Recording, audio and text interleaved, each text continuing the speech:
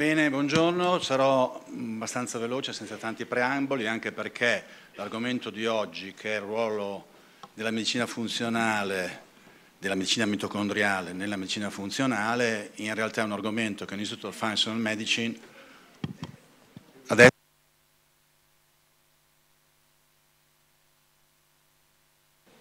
non so Così? Adesso, sì. Adesso sì. Ah ok, perfetto, era spento. Stavo dicendo che sarò veloce perché l'argomento che mi è stato dato, il ruolo della medicina mitocondriale nella medicina funzionale, ma con riferimento alla longevità, in realtà è un, per esempio è il tema di un corso di formazione dell'Istituto of Functional Medicine User, al quale ho partecipato, che dura tre giorni quindi condensare il tutto in 19 minuti è un po' difficile. Quindi andrò un po' veloce anche nelle diapositive che vi esporrò, che poi però rimarranno a vostra disposizione e ve le potrete poi guardare un po' più con calma. Fondamentalmente nel 2013 eh, erano stati identificati ben nove segni distintivi dell'invecchiamento. Dopodiché nel 2023 c'è stato un aggiornamento e questi segni distintivi sono diventati eh, 12. Ebbene, questi segni distintivi sono per esempio la senescenza cellulare, non mi soffermerò su ognuno di questi ovviamente, eh, praticamente l'esaurimento delle cellule staminali, l'infiammazione cronica, la, la disbiosi, l'instabilità genomica, l'accorciamento dei telomeri, eh, l'alterazione epigenetica, eh, la perdita di proteostasi, appunto eh, la l'alterazione della macroautofagia e anche l'alterazione della comunicazione intercellulare. Ebbene, per ultimo, ma lo dico per ultimo perché poi lo tratterò in maniera un po' più esaustiva, la disfunzione mitocondriale, che quindi è appunto una delle cause dell'invecchiamento. Bene, eh, la, eh, l'approccio eh, terapeutico per quanto riguarda la disfunzione mitocondriale va affrontato ovviamente prima con la diagnosi, cioè bisogna rendersi conto se esiste. Poi l'approccio nutrizionale è fondamentale nell'ambito della medicina funzionale. La medicina funzionale è una branca della medicina di tipo preventivo che utilizza molto la dieta e l'integrazione, cioè supplement, per poter intervenire a migliorare le disfunzioni e lifestyle medicine, cioè gli stili di vita. Quindi noi vedremo un po' questi aspetti. La diagnosi, normalmente la diagnosi, il gold standard della diagnosi è la biopsia, la biopsia a livello muscolare o di altri tessuti, ovviamente però la biopsia capite bene che è un trattamento un po' invasivo, recentemente ci sta orientando verso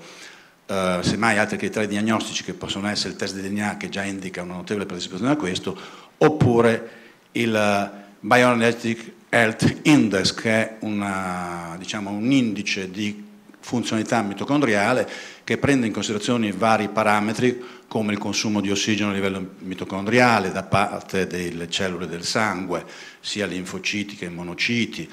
e anche la respirazione basale, la produzione appunto di ATP, la perdita di protoni, eccetera. Quindi prendendo in considerazione tutti questi parametri si riesce a definire la salute mitocondriale. Come dicevo prima, la dieta è uno degli aspetti più importanti che la medicina funzionale utilizza per migliorare la funzione mitocondriale. Bene, come, come deve essere l'approccio nutrizionale? Allora, uno, utilizzare dei nutrienti che abbiano un effetto antinfiammatorio. Eh, poi, ovviamente, anche che siano ricchi di antiossidanti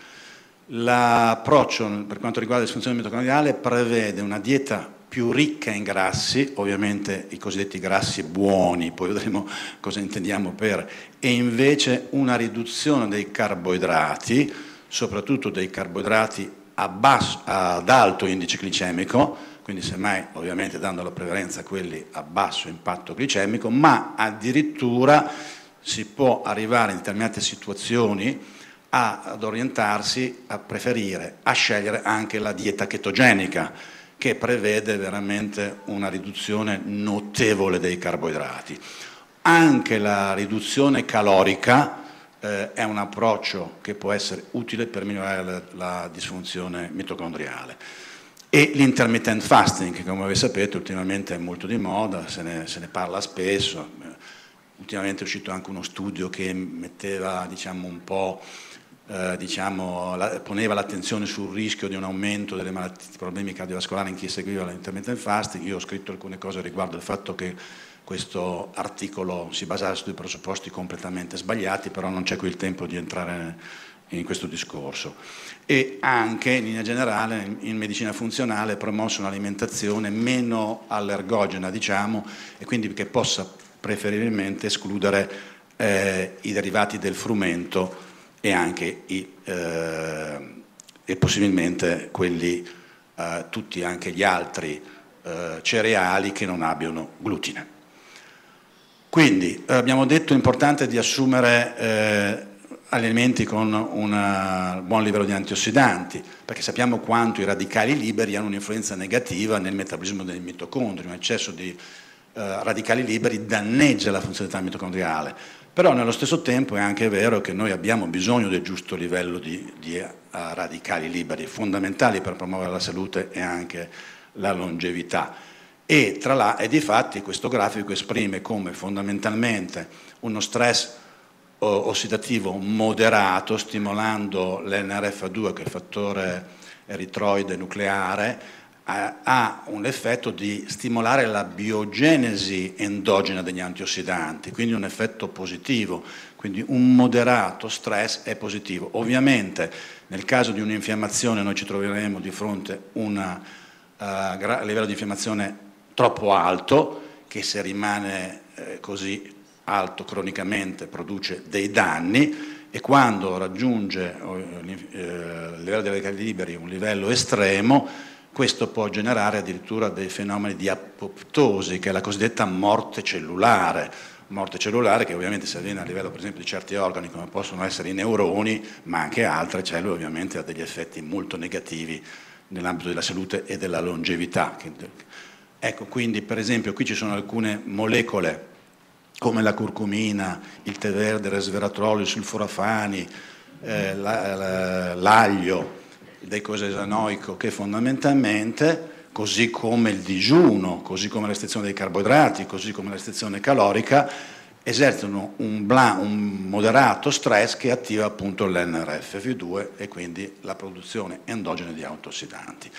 Eh, abbiamo detto anche dell'importanza di nutrienti antinfiammatori, che fondamentalmente sono quasi tutti dei fitonutrienti e quindi l'importanza di fare un'alimentazione plant-based, non esclusivamente vegetariana o nemmeno assolutamente vegana, ma prevalentemente plant-based, possibilmente con alimenti colorati, perché la maggior parte dei colori corrisponde proprio alla presenza di molecole che hanno un effetto antiossidante, dai carotenoidi ai flavonoidi, eccetera.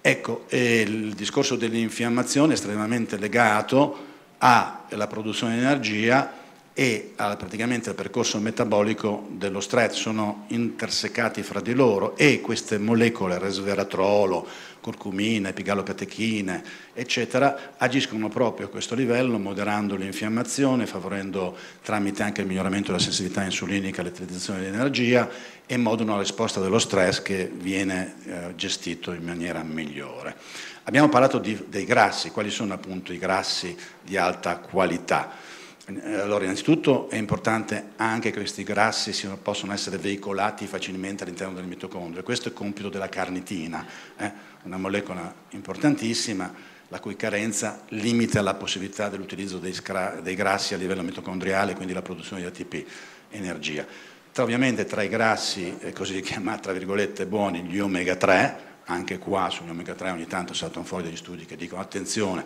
sì certo, magari livelli parecchio elevati di omega 3 per varie problematiche possono anche creare degli squilibri, si è parlato di alterazione a livello della, favorente alla fibrillazione atriale, ma si parla di dosaggi di 3-4 grammi di omega 3 in determinati soggetti che hanno già avuto precedenti effetti a livello mio, avversi miocardico, ma 3-4 grammi di omega 3, considerate che è una classica complessa, compressa capsula di un grammo di omega 3, in realtà gli omega 3 normalmente sono circa la metà, quindi uno dovrebbe prendere 8-10 compresse capsule al giorno. L'olio di cocco è un olio molto funzionale per il mitocondrio perché è ricco di acidi grassi a catena media, media un centro di gliceride e anche di acido idrossibutirrato che è una molecola che favorisce all'interno dei mitocondri la produzione di corpi chetonici. appunto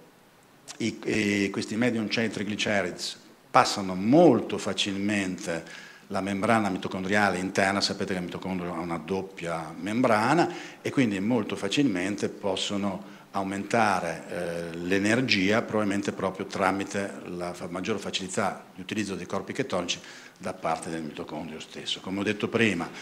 eh, bisogna ridurre anche eh, i carboidrati, soprattutto ad alto indice glicemico, scegliere quelli bassi glicemico, quindi tra un discorso a getto, stream o trickle, cioè sgocciolamento, dobbiamo scegliere quegli alimenti che ci sgocciolano gradualmente il glucosio all'interno dell'intestino in maniera che venga assorbito più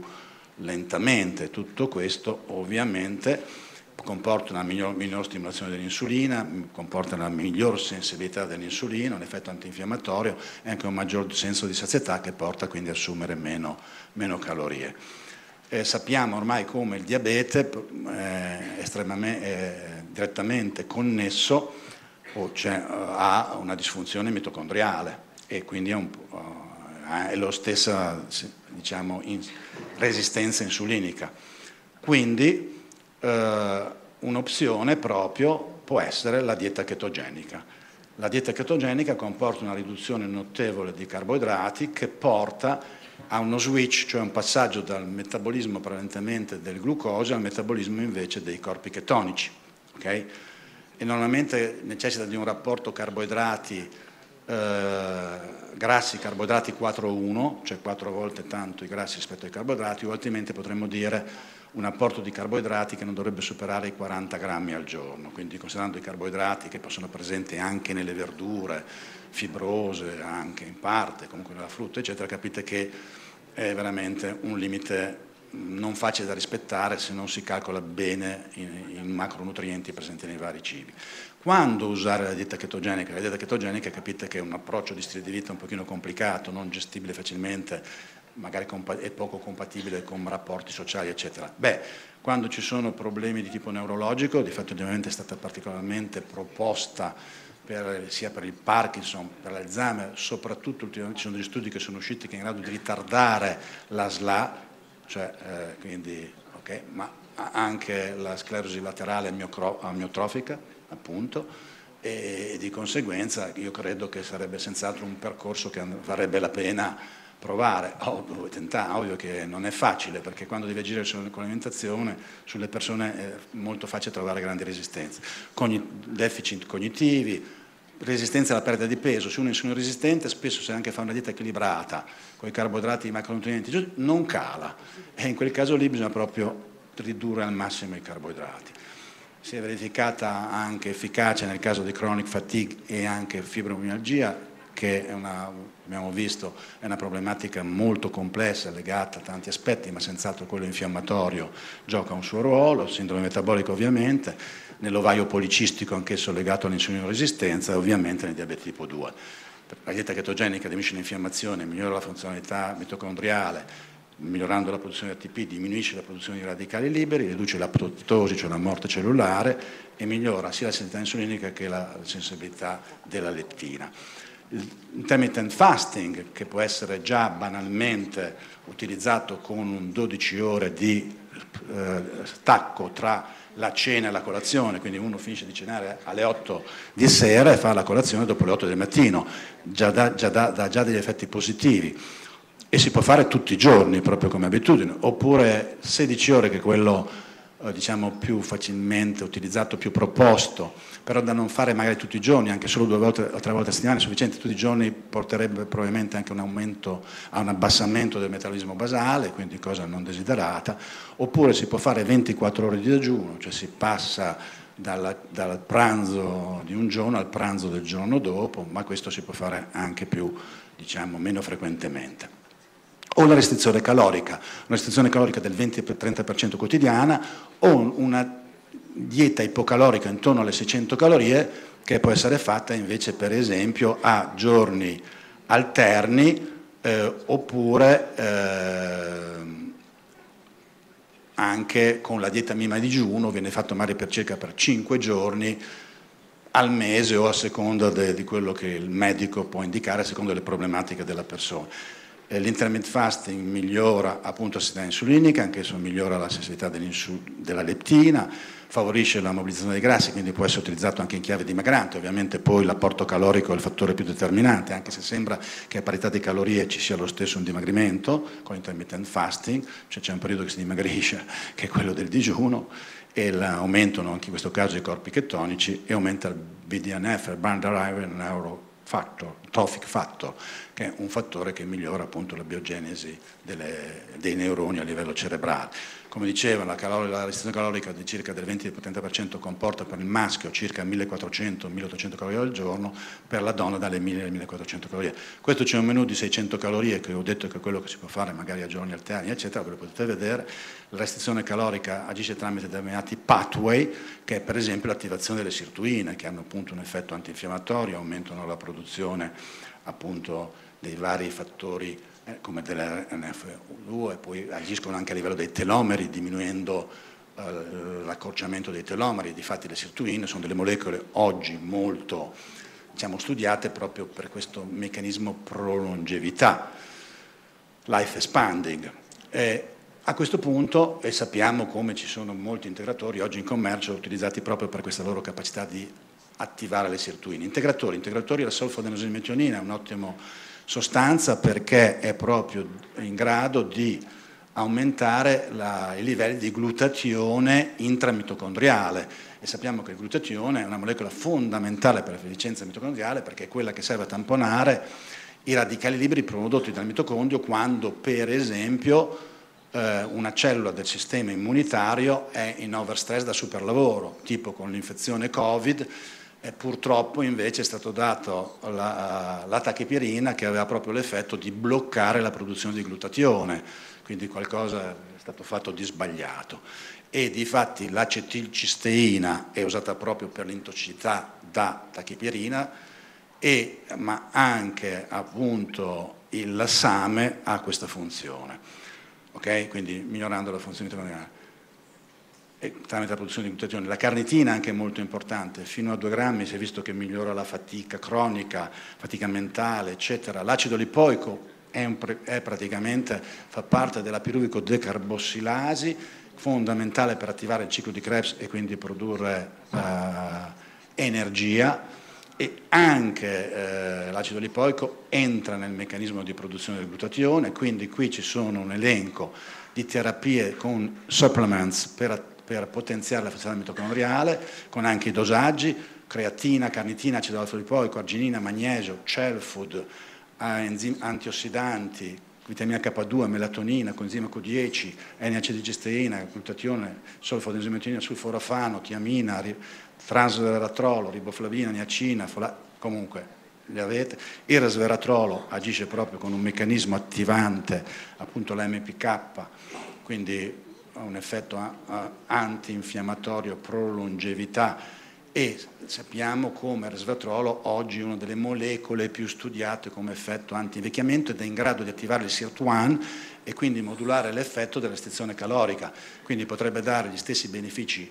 pro longevità della restrizione calorica senza restrizione calorica. Cell Food, un integratore che ha dimostrato un notevole effetto positivo nel migliorare la funzionalità endoteliale che è legata a una disfunzione mitocondriale, terapia quantistica mitocondriale di Sergio Stagnaro, eh, qui c'è, non ve la spiego perché eh, perderei troppo tempo, ce l'avete, però vi assicuro che con questa terapia sono in grado di invertire completamente anche delle ostruzioni coronariche del 70%, portandole a livelli non significativi, e poi interventi di lifestyle. Ho tolto l'aspetto della fotobiomodulazione perché è già stata trattata precedentemente proprio per snellire, se no non riesco a stare nei tempi, l'esercizio, l'attività fisica, ovviamente non ci poteva non essere, sia di tipo aerobico che anaerobico, ovviamente anche l'attività fisica funziona in maniera che sia né too low né too high, deve essere fatta in maniera corretta perché troppa poca attività fisica porta a disfunzioni mitocondriali, ma anche troppa attività fisica generando troppi radicali liberi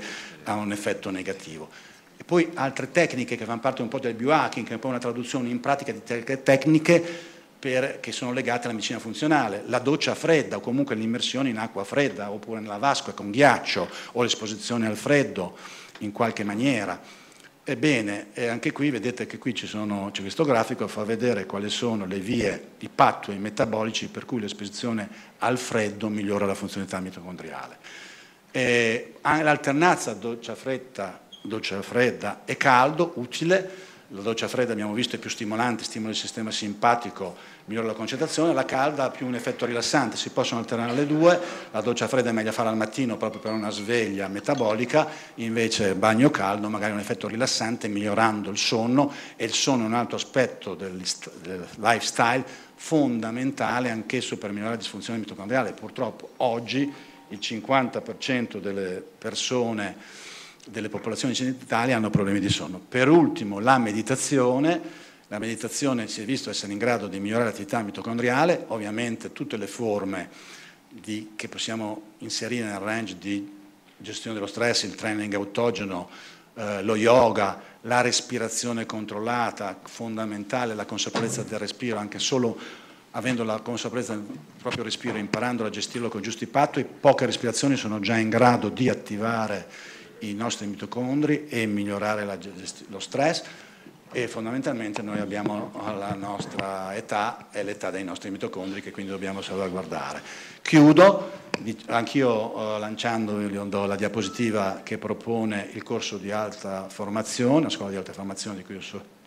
faccio parte del comitato scientifico oltre che docente, quindi vi invito tutti. Il libro di guida medicina funzionale già citato dall'amico Miceli, scritto da me, Bevacqua e, e, come coautori molti dei relatori che erano, stati che erano presenti anche tra oggi e domani, che credo che possibilmente sarà proposto anche come libro di testo della scuola. E infine eh, pro, promuovo il mio nuovo ultimo libro che uscirà a ottobre, eh, già disponibile per eh, acquisto in prevendita su Amazon, che è Le tre chiavi della longevità le mie tre chiavi di longevità, magri, forti, felici. Eh, passando dalle blue zone alle cellule staminali, passando anche per il biohacking. Grazie, buongiorno.